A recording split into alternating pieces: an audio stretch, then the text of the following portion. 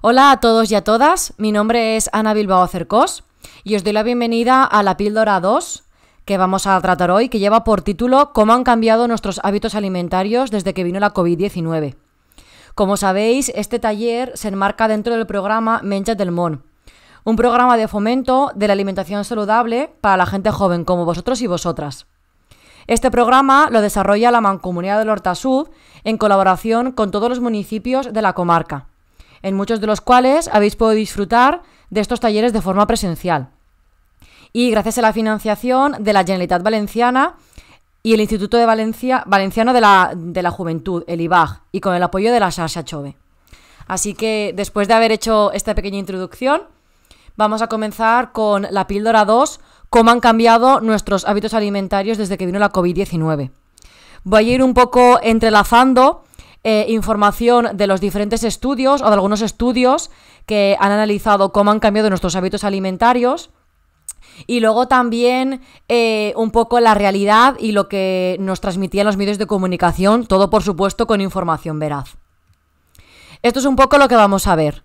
Vamos a comentar un estudio que se realizó eh, sobre los cambios en los hábitos alimentarios durante el confinamiento, cuáles son los cambios que ha habido en los hábitos de cocina, en los hábitos de compra, qué nos ha dejado el confinamiento, es decir, cuáles son los hábitos que en general la población ha cambiado tras el confinamiento. Y una última pregunta que he considerado muy interesante y que surgió al principio del confinamiento, pero para poder eh, desmentirla, un poco pues si los alimentos eran una fuente de transmisión de la COVID-19. Así que, eh, bueno, los que nos estéis escuchando, sí que me gustaría que aunque sea eh, para vosotros mismos, vayáis respondiendo algunas de las preguntas que os planteamos.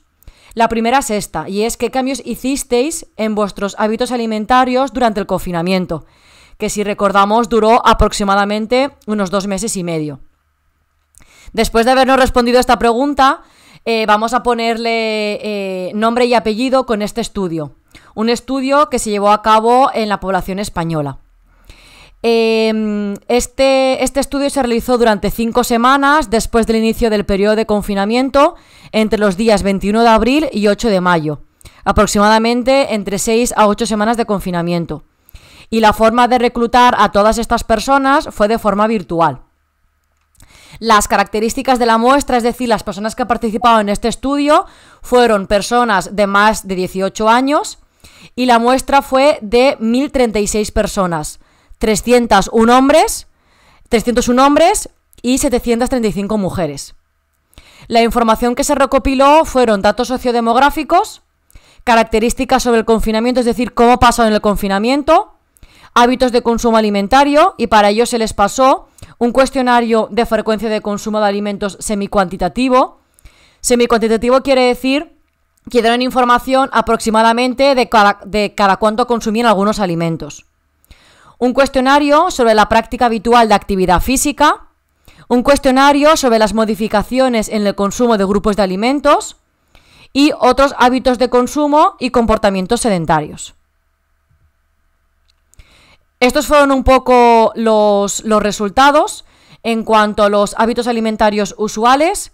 Esto fue el número de consumidores, las tablas eh, rayadas, eh, bueno, las, em, las columnas rayadas representa a los consumidores. La línea naranja representa la media eh, de raciones semanales de algunos alimentos y la línea verde representa si cumplían o no con las recomendaciones. ¿Vale? Aquí tenemos, por ejemplo, que en cuanto a las hortalizas, esta sería la recomendación y podríamos decir que superaba la media. En este caso, por ejemplo, en cuanto a legumbres, aquí está la ración semanal y esta la recomendación media. Por lo que podemos ver que de legumbres y hortalizas no se cumplía con la media, en cuanto a verduras sí. Este, por ejemplo, en cuanto a lácteos, esta es la recomendación media y sí que se cubría. ¿Vale? Y así con el resto de alimentos. Aquí, por ejemplo, tenemos en cuanto a bebidas azucaradas, aperitivos salados, frutos secos. Esta fue la ración media y esto sí cumplieron o no con las recomendaciones. Aquí también tenemos eh, diferentes tablas en cuanto al cambio en los hábitos alimentarios por el confinamiento en España. Aquí tenemos según el sexo, mujeres en verde y azul en hombres. Y aquí tenemos en función de, eh, de las edades, de 18 a 34 años, de 35 a 54 y de 55 y más edad. Y luego también en función de si el confinamiento lo vivieron solos, con su familia, con su pareja o con familiares y amigos. Por lo que podemos ir viendo, por ejemplo, aquí en bebidas azucaradas, que hubo mayor consumo o casi paralelo entre hombres y mujeres. Aquí, por ejemplo, si vemos bebidas azucaradas, hubo un mayor consumo de más de 55 años. Y aquí, casi más o menos por igual, tanto si vivían solos como eh, si vivían en familia, como si vivían en pareja.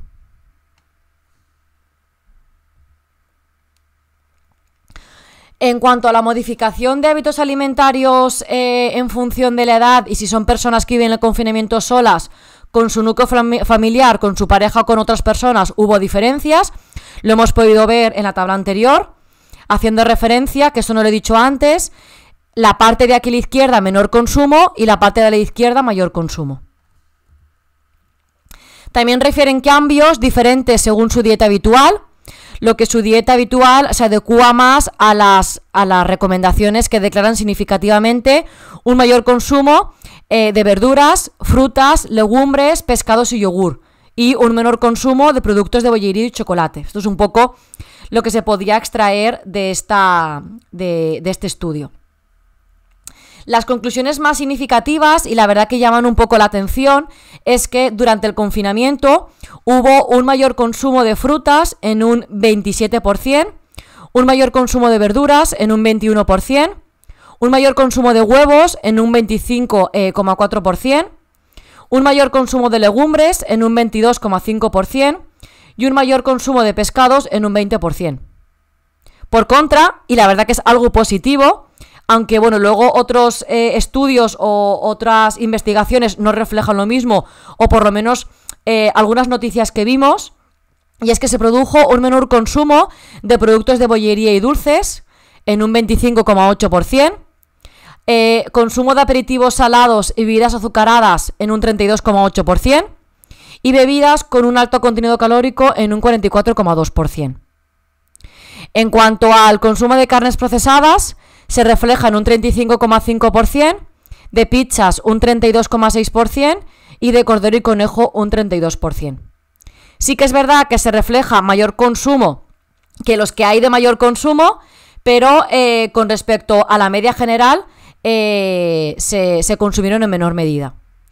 Luego también eh, se concluyó que un 15% no realizaba ejercicio físico, un 24,6% estuvo más de 9 horas sentado al día, también fomentado un poco por el, teletrabajo, y un 37% de los encuestados eh, declararon que no durmieron bien. Esto es un poco las conclusiones que se extraen de este estudio en cuanto a los hábitos alimentarios eh, durante el confinamiento. ¿Vale? Ya os digo que sí que hubo mejorías con respecto al consumo de estos alimentos, aun viendo reflejado que esto eh, aunque hubo menor consumo, es mayor porcentaje. ¿Cuáles son los cambios de hábitos que hicisteis en vuestros hábitos de cocina? ¿Vale? Esto es un poco la pregunta que os, la pregunta que os planteo y vamos a ver cómo la podemos resolver. Eh, obviamente se cocinó más en casa debido a que la hostelería estaba cerrada. La comida precocinada no ha sido la más consumida durante el confinamiento. Eh, se observó en diferentes estudios que se apostó por un producto fresco, se recuperaron, tradiciones culinarias eh, apostando por platos de cuchara, ya que teníamos más tiempo para cocinar. Y también coincidió que era época un poco invernal primaveral, que aún apetecía platos de cuchara. Obviamente, y aquellas personas que vivieron el confinamiento en familia o en pareja se volvió a comer en familia en muchos casos y aumentó el porcentaje de personas que cocinan en casa. Ya era alto el porcentaje de personas que cocinaban en casa y siguieron haciéndolo durante el confinamiento. Ya bien sea porque a lo mejor em, trabajaban fuera y se preparaban eh, la comida el fin de semana y luego la comían durante la misma, o bien porque a lo mejor comían de tupper y la tenían que preparar igualmente, por lo que siguieron cocinándola en casa. Un alto porcentaje se sumó a este colectivo y también cocinó a eh, comenzó a cocinar en casa. Pensar todas aquellas personas que por motivos de trabajo tenían que desplazarse fuera de los hogares, o si a lo mejor estabais en la universidad, o si comíais en el, en el comedor escolar, pues eso obligó a que tuviéramos que, que comer en casa. Y quizás pues antes no lo hacíamos con tanta regularidad. Una de las consecuencias negativas a cocinar más en casa, y se vio claramente reflejado en las primeras semanas de confinamiento, es que se agotó la harina. Eh, aumentó la práctica de repostería casera, más o menos en un 4,3%, lo que aumentó el consumo de alimentos ricos en azúcares y grasas saturadas. En el caso de que se utilizara eh, grasa de coco, aun sabiendo que esta grasa es más saludable que la grasa de palma. Aquí me paro y es algo que también hemos ido comentando en otras píldoras, concretamente en la que hablábamos sobre eh, las 5 ingestas al día. Em, aconsejamos que obviamente se evite y se elimine o se elimine, sí, se evite o se limite a cualquier tipo de bollería precocinada, cualquier tipo de bollería comprada o envasada, ya que tienen grasas hidrogenadas, grasa de palma y azúcares añadidos. Una de las opciones que podríamos eh, barajar es hacer la repostería casera. Pero claro, hacer la repostería casera, si utilizamos la misma cantidad de azúcar, no, lo único que mejoramos es la calidad de la grasa. Por lo que si apostamos por repostería casera, es importante que ésta se sustituya por otros alimentos, es decir, en lugar de utilizar azúcar o sacarina, se sustituya por dátiles, pasas o frutas, que son aquellas que le van a dar un poquito más sabor dulce al alimento. Estos fueron un poco las conclusiones en cuanto a los hábitos de cocina. Pero ahora bien, también hubo, hubieron cambios en cuanto a los hábitos de compra, porque volvemos a recordar que estuvimos confinados durante dos meses y medio. Y eh, la frecuencia con la que podíamos salir de casa era únicamente para pasear nuestra mascota o para poder ir a comprar en, momentos muy determinados. Entonces, eh, las conclusiones que podemos sacar en cuanto a los cambios que hubieron en hábitos de compra eh, sí que se realizaron diferentes encuestas y estudios sobre el contenido de la cesta de la compra y su evolución durante este periodo. Y la verdad que hubieron bastantes cambios. En los días posteriores al 14 de marzo, podríamos decir que fue un poco la semana de la histeria, en la que pensábamos que esto iba a durar únicamente una o dos semanas, al final se convirtieron en dos meses y medio, y hubo una compra compulsiva de legumbres, alimentos perecederos, que podían durar mucho más tiempo, bebidas alcohólicas, eh, principalmente cerveza, y productos de higiene y limpieza. Esto claramente lo pudimos ver eh, ya que los lineales estaban prácticamente vacíos y se agolpaban las personas en, en, las, en las colas de los supermercados para poder conseguir estos productos.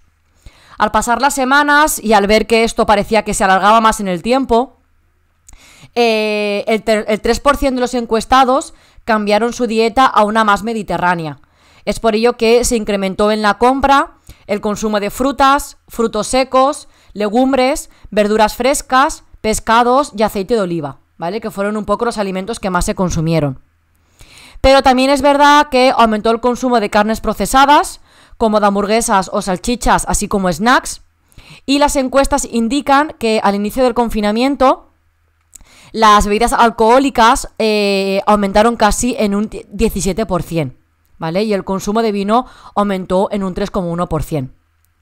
La verdad que viendo estos resultados, eh, a lo mejor podríamos pensar que la información que se extrajo de este primer estudio que os he comentado de los cambios que hubieron en el confinamiento, claro, es de un grupo de personas.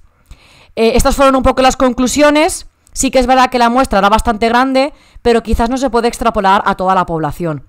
Pero claramente eh, pudimos ver que productos de higiene y limpieza se acabaron, alimentos perecederos también, la harina se acabó y eh, pues estas quedadas virtuales que hacíamos con, amigos, pues ahí se, se fomentaba un poquito más el consumo de alcohol y de snacks. En cuanto al gasto en la cesta de la compra, aumentó hasta un 25%. Y para los menores de 35 años, este aumento en el gasto supuso un mayor porcentaje de su sueldo, hasta un 40% en aquella semana. Eso quiere decir que en la mayoría de ellos el sueldo era el mismo y eh, teniendo en cuenta lo que cobraban, pues si antes la compra suponía, nos lo vamos a inventar, 200 o 300 euros, ahora suponía más. También es verdad que ese incremento en el gasto de la compra, eh, aunque se, incrementara el gasto de la compra, se reducía también el gasto en la restauración colectiva, en bares, restaurantes, eh, comidas de trabajo, por lo que se redujo en cuanto a compras, en cuanto a comidas, podríamos decir laborales o sociales, y se incrementó eh, la cesta de la compra, ¿vale? Para poder comer de lunes a, domingo. Sí que es verdad que las compras online, lo que se llama el e-commerce, se dispararon. Eh, ya no era una opción para la industria de la alimentación, sino era como una obligación. Muchas personas, aun sabiendo que podían ir a comprar a supermercados, eh, pues prefirieron hacer una compra online, ya sea mensual o ya sea semanal. Habitualmente los alimentos que se compraban vía online eran alimentos pues no perecederos o aquellos que suponían más cara o que pesaban más, tales como agua, leche, arroces, lata, latas, productos de limpieza. Y luego también, aun sabiendo que se incrementó el consumo de estos alimentos de más carga, también se incrementó la compra de productos frescos, ¿vale? Tales como verduras, carnes, pescados es muy interesante cómo la pandemia ha cambiado un poco nuestros hábitos de compra. Y hay muchas familias que ya tienen como rutina, como hábito, hacer una compra mensual de gran cantidad y luego hacer una compra semanal de menor cantidad, eh, ya quizás en comercios locales. Hemos visto cuáles han sido los hábitos eh, de cambios de la cesta de la compra y luego también de cocina. Pero ahora también la pregunta que os planteo es ¿qué cambios alimentarios cambiasteis tras el confinamiento? Porque una cosa es lo que vivimos durante el confinamiento o lo que nos vimos obligados a realizar durante el confinamiento y cuáles son esos hábitos que después permanecieron tras el confinamiento. Entonces, lo que nos ha dejado el confinamiento y también podemos concluir de este estudio es que eh, bueno, pues sí que hubieron ciertas modificaciones en cuanto a los hábitos alimentarios hacia una mayor tendencia a alimentos saludables. Pensar que también tuvimos más tiempo, eh, como hemos comentado antes, de cocinar y de probar otros alimentos. Eh, hubo un menor consumo de alimentos de menor interés nutricional, pero la verdad que no en otros colectivos, como pueden ser el, el público joven, que quizás si bebían solos o en pareja o con amigos, pues sí que se puede incrementar el consumo de bebidas alcohólicas o alimentos no saludables. Y obviamente un incremento de cocinar en casa. Más concienciación en cuanto al interés del consumo de frutas, verduras, hortalizas, legumbres y pescados.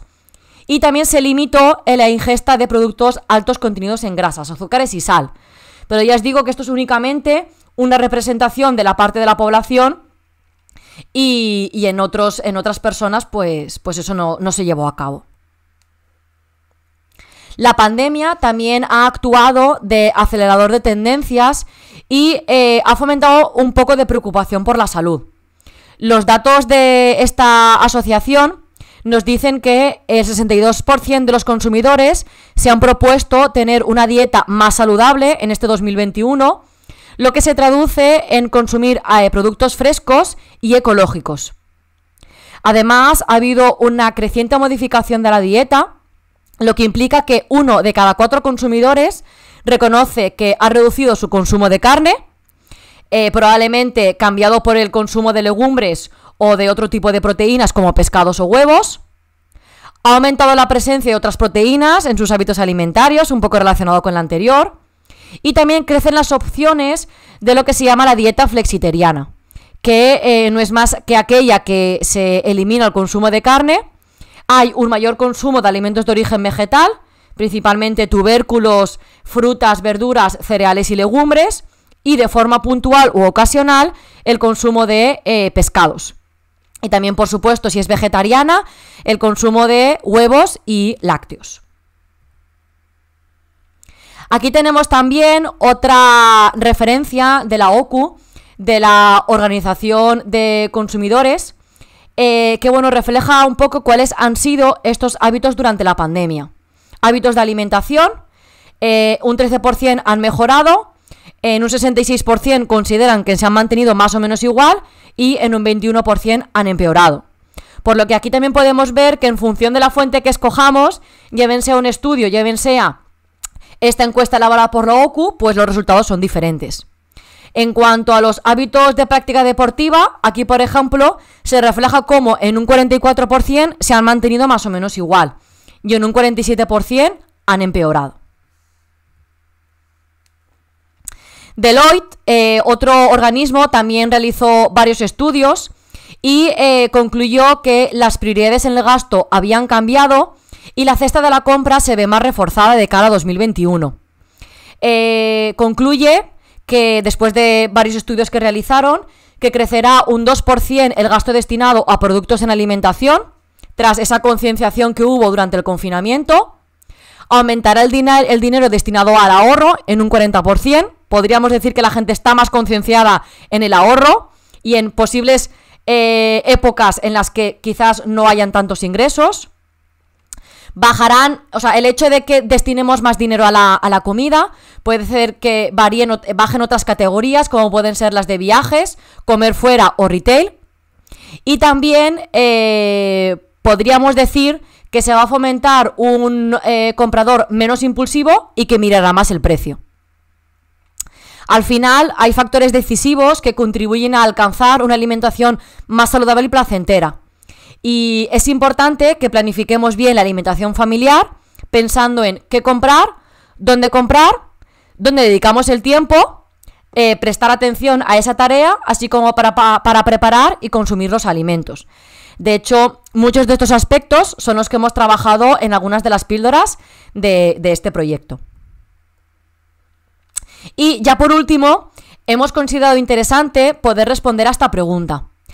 Ah, la verdad que en la época en la que se está grabando este vídeo ya estamos muchísimo mejor porque el porcentaje de vacunación la verdad que es súper positivo. Pero sí que es verdad que en un primer momento se planteó esta pregunta. Y es eh, que si además de la transmisión aérea, la COVID la podíamos, eh, la podíamos eh, coger a través de los alimentos. Y bueno, en su momento y a día de hoy, no hay evidencia de que los alimentos sean una fuente o una vía de transmisión de la COVID-19, ni se ha demostrado que podamos enfermar si una persona infectada tosiera o estornudara sobre ellos.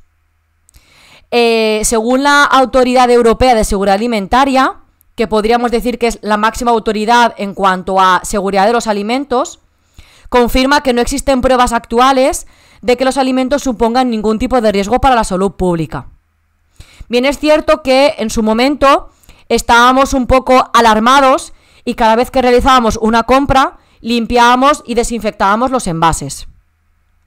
Eh, era una estrategia realmente para poder evitar cualquier, cualquier tipo de transmisión, ya que si bien eh, podía estar en los envases y luego no nos lavábamos correctamente las manos y nos metíamos en la boca, pues sí que podíamos eh, tener la, la COVID-19. No obstante, aun sabiendo que los alimentos no son una fuente de transmisión, fue un muy buen momento para poder repasar y tener en cuenta todas las buenas prácticas correctas de alimentación y en cuanto a preparación y manipulación de alimentos. La importancia de desinfectar correctamente frutas y verduras. Y también una buena época para poder recordar esa higiene personal y lavarse correctamente las manos además de limpiar y desinfectar cualquier tipo de superficie y utensilio de contacto. ¿Vale? Así que, bueno, pues pudimos concluir que no era una fuente de transmisión, pero sí que sirvió para poder recordar ciertas prácticas alimentarias.